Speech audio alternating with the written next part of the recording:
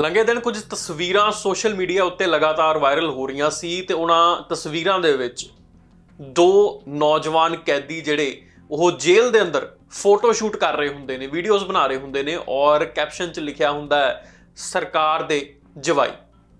ਇਹੋ ਜਿਹੇ ਹਾਲਾਤ ਜਦੋਂ ਜੇਲ੍ਹਾਂ ਦੇ ਅੰਦਰ ਹੋਣ ਤਾਂ ਸਵਾਲ ਜ਼ਰੂਰ ਖੜੇ ਹੁੰਦੇ ਨੇ।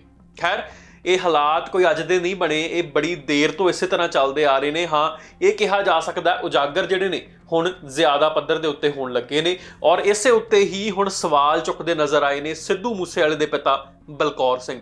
ਉਹਨਾਂ ਨੇ ਰੱਜ ਕੇ ਇਸ ਮਾਮਲੇ ਦੀ ਨਖੇਦੀ ਕੀਤੀ ਹੈ। ਉਹਨਾਂ ਨੇ ਸਾਫ਼ ਕਿਹਾ ਕਿ ਇੱਕ ਸਮਾਂ ਸੀ ਕਿ ਜੇ ਕੋਈ ਕਿਸੇ ਨੂੰ ਆਪਣਾ ਜਵਾਈ ਕਰਨ ਦਾ ਸੀ ਤੇ ਲੋਕ ਲੜਨ ਤੱਕ ਆ ਜਾਂਦੇ ਸੀ ਇਹੋ ਜਿਹੇ ਹਾਲਾਤ ਬਣ ਜਾਂਦੇ ਸੀ। ਪਰ ਅੱਜ ਇਹ ਹਾਲਾਤ ਬਣ ਗਏ ਨੇ ਕਿ ਇਹ ਕੈਦੀ ਸਰਕਾਰ ਨੂੰ ਕਹਿੰਦੇ ਨੇ ਕਿ ਅਸੀਂ ਉਹਦੇ ਜਵਾਈ ਹਾਂ ਪਰ ਸਰਕਾਰ ਉਸ ਉੱਤੇ ਕੋਈ ਐਕਸ਼ਨ ਨਹੀਂ ਲੈ ਰਹੀ। ਇਹ ਹਾਲਾਤ ਜੇਲ੍ਹਾਂ ਦੇ ਵਿੱਚ ਨੇ। ਇਸ ਉੱਤੇ ਅ, ਸਿੱਧੂ ਮੂਸੇਵਾਲੇ ਦੇ ਪਿਤਾ ਬਲਕੌਰ ਸਿੰਘ ਜਿਹੜੇ ਨੇ ਉਹ ਤੰਜ ਕੱਸਦੇ ਨਜ਼ਰ ਆ ਰਹੇ ਨੇ। ਨਾਲ ਦੀ ਨਾਲ ਸੀਐਮ ਭਗਵੰਤ ਮਾਨ ਦੇ ਵੀ ਮੁਖਾਤਬ ਹੁੰਦੇ ਨੇ ਕਿਉਂਕਿ ਉਹ ਕਹਿੰਦੇ ਨੇ ਕਿ ਇੱਕ ਪਾਸੇ ਤੇ ਮਾਣਯੋਗ ਮੁੱਖ ਮੰਤਰੀ ਨੇ, ਪਰ ਉਹ ਕਿਉਂ ਇੱਥੇ ਉੱਤੇ ਧਿਆਨ ਨਹੀਂ ਦਿੰਦੇ ਪਏ? ਕਿਉਂ ਇਸ ਉੱਤੇ ਧਿਆਨ ਨਹੀਂ ਦਿੰਦੇ ਪਏ? ਨੌਜਵਾਨਾਂ ਨੂੰ ਜ਼ਿਆਦਾ ਗੈਂਗਸਟਰਸ ਹੀ ਕਿਉਂ ਜੱਚ ਰਹੇ ਨੇ? ਨੌਜਵਾਨਾਂ ਨੂੰ ਬਦਮਾਸ਼ ਕਲਚਰ ਹੀ ਕਿਉਂ ਜੱਚਦਾ ਪਿਆ? ਇਸ ਉੱਤੇ ਸਵਾਲ ਪੁਰਜ਼ੋਰ ਚੱਕਦੇ ਨਜ਼ਰ ਆ ਰਹੇ ਨੇ ਸਿੱਧੂ ਮੂਸੇਵਾਲੇ ਦੇ ਪਿਤਾ ਬਲਕੌਰ ਸਿੰਘ। ਨਾਲ ਦੀ ਨਾਲ ਉਸ ਵੀਡੀਓ ਦਾ ਹਵਾਲਾ ਦੇ ਕੇ ਕਿ ਇਹ ਹਾਲਾਤ ਇਸ ਵੇਲੇ ਜੇਲ੍ਹਾਂ ਦੇ ਵਿੱਚ ਜਿਹੜੇ ਸਾਫ਼ ਉਜਾਗਰ ਹੋ ਰਹੇ ਨੇ? ਇਹਦੇ ਵਿੱਚ ਕੋਈ ਦੋ ਰਾਏ ਵੀ ਨਹੀਂ ਹੈਗੀ ਕਿਉਂਕਿ ਲਗਾਤਾਰ ਕਈ ਵੀਡੀਓਜ਼ ਤੇ ਫੋਟੋਜ਼ ਸਾਹਮਣੇ ਆ ਚੁੱਕੀਆਂ ਨੇ, ਜਿਸ ਦੇ ਵਿੱਚ ਗੈਂਗਸਟਰਸ ਜਾਂ ਜਿਹੜੇ ਦੋਸ਼ੀ ਨੇ, ਮੁਲਜ਼ਮ ਨੇ, ਉਹ ਆਪਣਾ ਫੋਟੋ ਸ਼ੂਟ ਕਰਦੇ ਨਜ਼ਰ ਆਉਂਦੇ ਨੇ। ਜੇਲ੍ਹਾਂ ਦੇ ਅੰਦਰ ਬੈਰਕਾਂ ਦੇ ਵਿੱਚ ਆਪਣਾ ਫੋਟੋ ਸ਼ੂਟ ਕਰਦੇ ਨੇ, ਸਲਾਖਾਂ ਪਿੱਛੇ ਆਪਣੀਆਂ ਤਸਵੀਰਾਂ ਖਿੱਚਦੇ ਨੇ, ਸ਼ਰੇਆਮ ਅੰਦਰ ਫੋਨ ਇਸਤੇਮਾਲ ਕੀਤੇ ਜਾਂਦੇ ਨੇ ਸਮਾਰਟਫੋਨਸ ਇਸਤੇਮਾਲ ਕੀਤੇ ਜਾਂਦੇ ਨੇ, ਜੇਲ੍ਹਾਂ ਇਸ ਤਰ੍ਹਾਂ ਬਣਾ ਰੱਖੀਆਂ ਨੇ, ਜਿਵੇਂ ਕੋਈ 5 ਸਟਾਰ ਹੋਟਲ ਹੋਵੇ। ਪਰ ਇਹਨਾਂ ਹਾਲਾਤਾਂ ਨੂੰ ਜਦੋਂ ਉਜਾਗਰ ਕੀਤਾ ਜਾਂਦਾ ਹੈ ਤੇ ਉਸ ਉੱਤੇ ਐਕਸ਼ਨ ਕੀ ਹੁੰਦਾ ਆ, ਉਹ ਵੀ ਇੱਕ ਸਵਾਲ ਦਾ ਵਿਸ਼ਾ ਹੈ। ਦੂਜੇ ਪਾਸੇ, ਸਿੱਧੂ ਮੂਸੇਵਾਲੇ ਦੇ ਪਿਤਾ ਬਲਕੌਰ ਸਿੰਘ ਨੇ ਜੋ ਕੁਝ ਆਖਿਆ ਜਿਹੜਾ ਸਨੇਹਾ ਪੰਜਾਬ ਸਰਕਾਰ ਨੂੰ ਦਿੱਤਾ ਔਰ ਖਾਸ ਕਰਕੇ ਸੀਐਮ ਭਗਵੰਤ ਮਾਨ ਨੂੰ ਮੁਖਾਤਬ ਹੋ ਕੇ ਜੋ ਗੱਲਾਂ ਕਹੀਆਂ ਨੇ, ਉਹ ਸੁਣਨ ਜੋਗੀਆਂ ਨੇ। ਆਓ, ਤੁਹਾਨੂੰ ਸੁਣਾਉਂਦੇ ਆ ਕਿ ਆਖਰ ਬਲਕੌਰ ਸਿੰਘ ਕੀ ਬੋਲੇ ਨੇ। ਕਿ ਲਾ ਐਂਡ ਆਰਡਰ ਦੀ ਆਪਾਂ ਗੱਲ ਕਰਦੇ ਆਂ ਬੇਹੱਦ ਮਾੜਾ ਹੁਣ ਤਾਂ ਹਰੇਕ ਨੌਜਵਾਨ ਆਪਣੇ ਆਪ ਨੂੰ ਬਦਮਾਸ਼ ਕਹਾਉਣ ਦੇ ਵਿੱਚ ਪ੍ਰਾਊਡ ਫੀਲ ਕਰਦਾ ਪਤਾ ਨਹੀਂ ਕਿਉਂ, ਇਸ ਤਰ੍ਹਾਂ ਦੀ ਮਾਨਸਿਕਤਾ ਕਿਉਂ ਹੋ ਰਹੀ ਹੈ। ਆਏ ਦਿਨ ਕਿਸੇ ਨਾ ਕਿਸੇ ਜੇਲ੍ਹ ਦੇ ਵਿੱਚੋਂ ਵੀਡੀਓ ਪੈਂਦੀ ਹੈ। ਹਾਈ ਕੋਰਟ ਇਸ ਚੀਜ਼ ਦੇ ਉੱਤੇ ਨਾਰਾਜ਼ਗੀ ਬਹੁਤ ਜਤਾ ਰਹੇ ਨੇ, ਪਰੰਤੂ ਉਹਦੇ ਬਾਵਜੂਦ ਵੀ ਉਹ ਤਾਂ ਪਿਛਲੀਆਂ ਵੀਡੀਓ ਦੀ ਗੱਲ ਕਰਦੇ ਵੀਡੀਓ ਕੋਈ ਨਾ ਕੋਈ ਹਰ ਇੱਕ ਮਹੀਨੇ ਕਿਸੇ ਨਾ ਕਿਸੇ ਜੇਲ੍ਹ ਤੋਂ ਪਹਿਲਾਂ ਮਾਨਸਾ ਤੋਂ ਪਈ, ਫਿਰ ਸੰਗਰੂਰ ਤੋਂ ਪਈ, ਉਦੋਂ ਪਹਿਲਾਂ ਲਾਹੌਰ ਹਲੇ ਰੌਲਾ ਚੱਲੀ ਜਾਂਦਾ ਅਦਾਲਤਾਂ ਦੇ ਵਿੱਚ ਤੇ ਹੁਣ ਆ ਪਰਸੋਂ ਚੌਥੇ ਫਰੀਦਕੋਟ ਤੋਂ ਵੀ ਆ ਗਿਆ। ਮੈਂ ਭਗਵੰਤ ਮਾਨ ਸੀਐਮ ਸਾਹਿਬ ਨੇ ਸਾਡੇ, ਉਹਨਾਂ ਦੇ ਧਿਆਨ 'ਚ ਪਤਾ ਨਹੀਂ ਹੈਗਾ ਕਿ ਨਹੀਂ ਹੈਗਾ, ਪਤਾ ਨਹੀਂ ਰੱਬ ਜਾਣਦਾ ਉਹਨਾਂ ਦਾ ਧਿਆਨ ਹੈ ਕਿੱਥੇ। ਤੁਸੀਂ ਇਹ ਗੱਲ ਦੇਖੋ ਵੀ ਬਦਮਾਸ਼ਾਂ ਦੇ ਹੌਸਲੇ ਕਿੱਥੋਂ ਤੱਕ ਵੱਧ ਗਏ ਨੇ।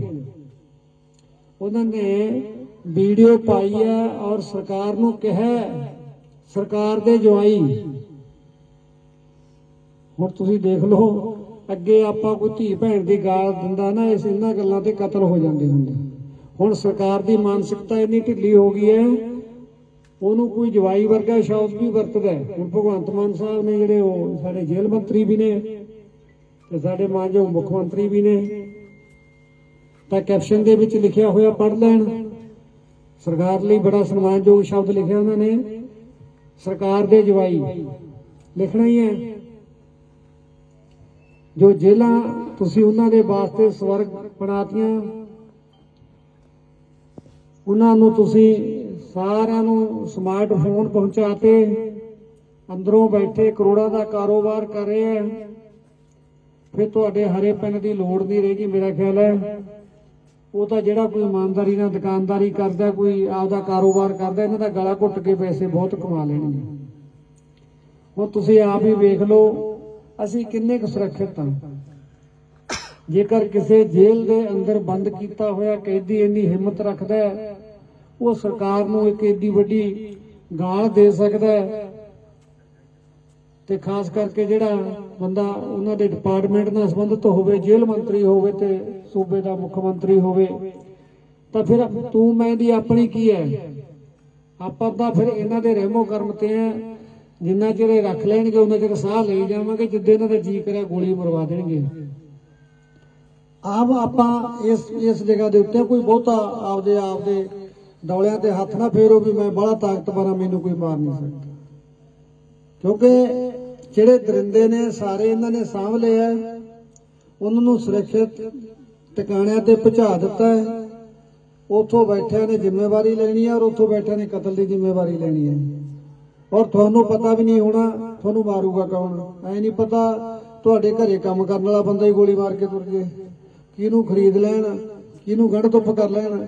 ਇਹ ਚੀਜ਼ਾਂ ਸਾਡੀਆਂ ਸਾਰੀਆਂ ਸਮਾਜਿਕ ਦੀਆਂ ਚਿੰਤਾ ਵਧਾਉਣ ਵਾਲੀਆਂ ਗੱਲਾਂ ਨੇ। ਕਿਹੋ ਜਿਹਾ ਮਾਹੌਲ ਇਹ ਸਰਕਾਰ ਵੱਲੋਂ ਪੰਜਾਬ ਨੂੰ ਦਿੱਤਾ ਜਾ ਰਿਹਾ? ਜੇਲਾਂ ਦਾ ਤੁਸੀਂ ਇਹ ਗੱਲ ਕਹਿ ਦਿਓ ਵੀ ਜੇਲ੍ਹਾਂ ਤਾਂ ਸਰਕਾਰ ਦੇ ਕੰਟਰੋਲ ਤੋਂ ਬਾਹਰ ਹੋ ਗਈਆਂ।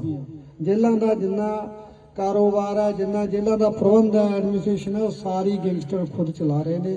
ਇਹ ਆ ਜਿਹੜੀ ਵੀਡੀਓ ਇਸ ਗੱਲ ਦੀ ਪੁਸ਼ਟੀ ਕਰਦੀ ਹੈ ਸਾਰੇ ਐਕਸ਼ਨ ਦੇ ਨਾਲ ਉੱਤੇ ਗਾਣੇ ਭਰ ਭਰ ਕੇ ਤਾਂ ਉਹ ਸ਼ਾਇਦ ਕੱਲ ਇੱਕ ਅਹ, ਸਾਡੇ ਡੀਐਸਪੀ ਸਾਹਿਬ ਬਰਿਆਮ ਸਿੰਘ ਜੀ ਉਹ ਦੱਸ ਰਹੇ ਸੀ ਇਸ ਗੱਲ ਤੋਂ ਵੀ ਜਿਹੜੀ ਵੀਡੀਓ ਪਈ ਹੈ ਬਿਲਕੁਲ ਸਹੀ ਹੈ ਔਰ ਉਹਦਾ ਮਲੇਸ਼ੀਆ ਦੇ ਨਾਲ ਅੱਗੇ ਬਾਹਰ ਬੈਠੇ ਲੋਕਾਂ ਦੇ ਨਾਲ ਅੰਦਰ ਬੈਠੇ ਕੈਦੀਆਂ ਦਾ ਸਿੱਧਾ ਤਾਲਮੇਲ ਹੈ। ਤਾਂ ਫਿਰ ਕਿਸੇ ਦਾ ਨੁਕਸਾਨ ਕਰਾਉਣਾ ਕਿਸੇ ਦਾ ਧੀ ਪੁੱਤ ਮਰਵਾਉਣਾ ਇਹਨਾਂ ਲਈ ਕਿੰਨੀ ਸੌਖੀ ਗੱਲ ਹੋਈ ਪਈ ਹੈ ਹੁਣ। ਜਦੋਂ ਕਲੀਅਰ ਪੁਲਿਸ ਹਲਕੇ ਹੀ ਇਸ ਗੱਲ ਨੂੰ ਮੰਨ ਰਹੇ ਨੇ ਵੀ ਹਾਂ ਇਹ ਚੀਜ਼ਾਂ ਹੋਈਆਂ ਨੇ ਤੇ ਹੋ ਰਹੀਆਂ ਨੇ ਹਰੇਕ ਜੇਲ੍ਹ ਦੇ ਵਿੱਚ ਜਿਹੜਾ ਫੋਨ ਹੈ ਉਹ ਸਹੂਲਤਾਂ ਪੈਸੇ ਪੇ ਕਰਕੇ ਮਿਲ ਰਿਹਾ ਤਾਂ ਇਹ ਚੀਜ਼ਾਂ ਬੰਦ ਕਿਵੇਂ ਹੋਣਗੀਆਂ? ਜਿਹੜੀ ਚੀਜ਼ ਦੇ ਵਿੱਚ ਪੈਸਾ ਇਨਵੋਲਵ ਹੋ ਗਿਆ ਗੈਂਗਸਟਰ ਕੋਈ ਬਾਹਲੀ ਵੱਡੀ ਸਮੱਸਿਆ ਨਹੀਂ ਹੈ ਪਰੰਤੂ ਇੱਕ ਭ੍ਰਿਸ਼ਟਾਚਾਰ ਦਾ ਰੂਪ ਬਣ ਗਿਆ ਉਹ। ਸਾਡਾ ਜਿਹੜੇ ਭ੍ਰਿਸ਼ਟ ਤਾਣਾ ਬਾਣਾ ਹੈ, ਉਹਨਾਂ ਤੋਂ ਕਮਾਈਆਂ ਕਰਨ ਵਾਸਤੇ ਉਹਨਾਂ ਨੂੰ ਇਹ ਜਿਹੜੀਆਂ ਫੈਸਿਲਿਟੀਆਂ ਉਹਨਾਂ ਨੂੰ ਦਿੱਤੀਆਂ ਜਾ ਰਹੀਆਂ ਜੇਲ੍ਹ ਦੇ ਵਿੱਚ ਤਾਂ ਜੋ ਜਾਇਜ਼ ਨਿਆਇ ਤਰੀਕੇ ਦੇ ਨਾਲ ਆਪਣਾ ਕਾਰੋਬਾਰ ਅੰਦਰ ਬੈਠੇ ਚਲਾ ਰਹੇ ਨੇ ਤਾਂ ਇਸ ਗੱਲ ਦੇ ਉੱਤੇ ਬਹੁਤ ਚਿੰਤਾ ਕਰਨੀ ਬਣਦੀ ਹੈ subscribe to One India channel and never miss an update